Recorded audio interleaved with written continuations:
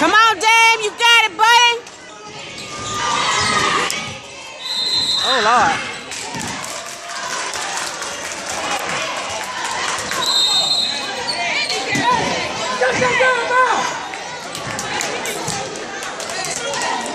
He got a text.